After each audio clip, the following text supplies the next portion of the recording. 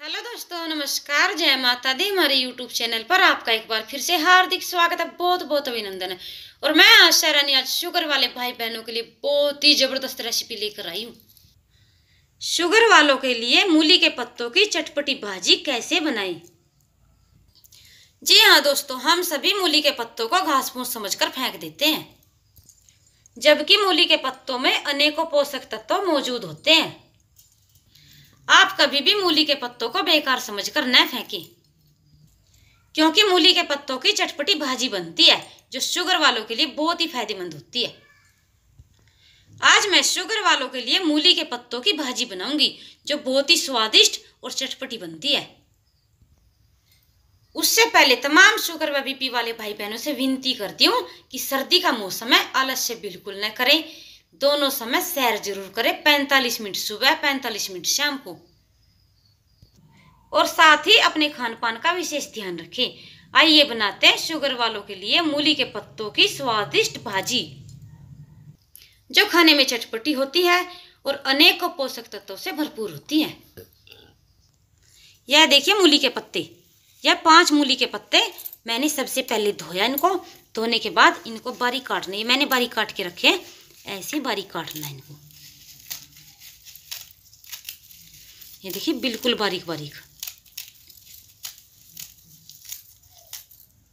पाँच मूली के पत्ते मैंने काट कर रखे हैं। हम एक मूली लेंगे। ये देखिए, मूली एक ही लेनी है, इसको हम छील लेंगे।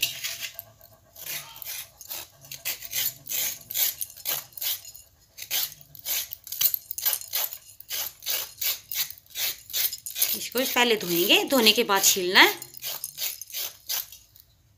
अब इसको इधर से काट देंगे। अब इसको भी हम बारीक बारीक काट लेंगे।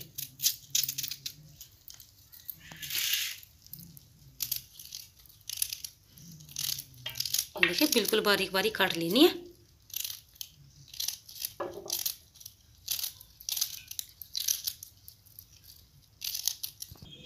अब सबसे पहले हम गैस ऑन करेंगे। इस पर एक बर्तन रखेंगे, इसमें हम थोड़ा पानी रखेंगे। ये देखिए, हमने बिल्कुल थोड़ा पानी रखा है। अब हम डालेंगे इसमें, ये देखिए, मूली के पत्ते। और ये हमने एक मूली काट कर रखी इस इसमें डाल देते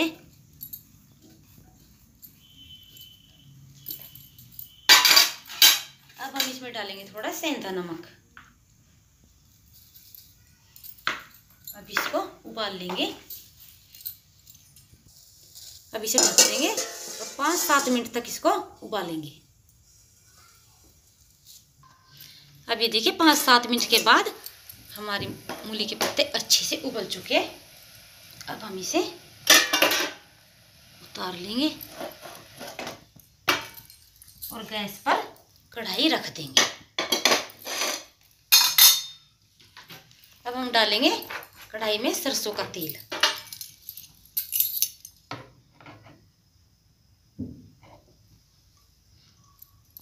अब इसको गर्म होने देते हैं, जैसे ही हमारा तेल गर्म होता है, उसके बाद हम इसमें मसाले डालेंगे और इसके लिए हमें क्या क्या सामग्री चाहिए जान लेते हैं।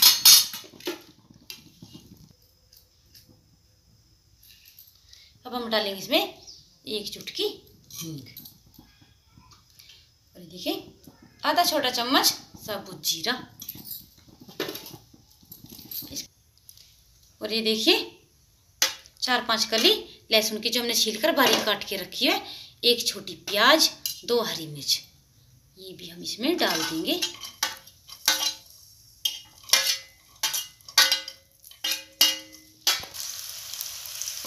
ऐसे चलाते रहना। और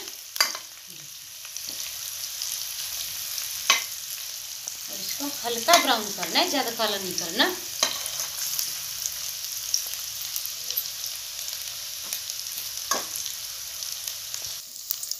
है जब तक हमारा छोंक तैयार होता है, हमारी मूली भी ठंडी हो चुकी है। अब हम इसमें, देखिए, थोड़ा हल्दी पाउडर डालेंगे।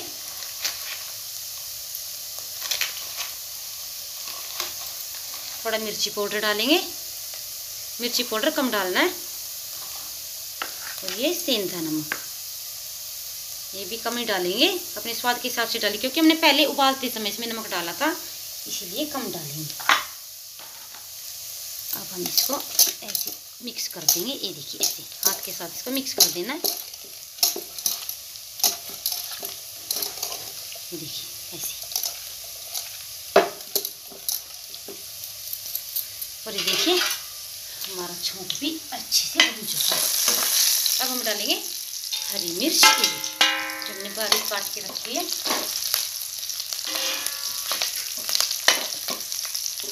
और इसके बाद देखिए मूली के पत्ते हम इसमें डाल देंगे।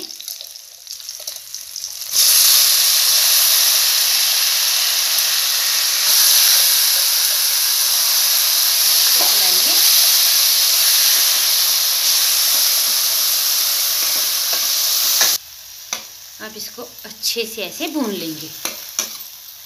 और इसके पत्ते, ये जो मूली के पत्ते हैं, इनको बिल्कुल थोड़े पानी में उबालना है। हमने कम पानी डालना है, क्योंकि पानी निकालना नहीं है। पानी इसी के अंदर रहना चाहिए। देखिए, अगर हम पानी कम डालेंगे तो इसी के अंदर रहेगा। अगर हम ज़्यादा पानी डालेंगे तो निकालना पड़ेगा। ये पानी कम ही डालना है। तभी यह स्वादिष्ट भाजी बनेगी। और ये देखिए, बहुत ही जल्दी बन जाती है बहुत ही स्वादिष्ट होती है, बहुत ही चटपटी। अब हम गैस ऑफ़ कर देंगे। ये देखिए, हमारे मूली के पत्तों की भाजी बिल्कुल तैयार है। अब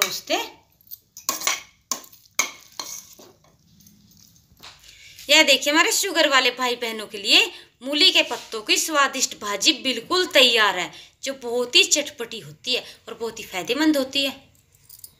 और मूली के पत्तों को घास फूस समझ कर न फेंकें। एक बार यह सब्ज़ी ज़रूर ट्राई करें।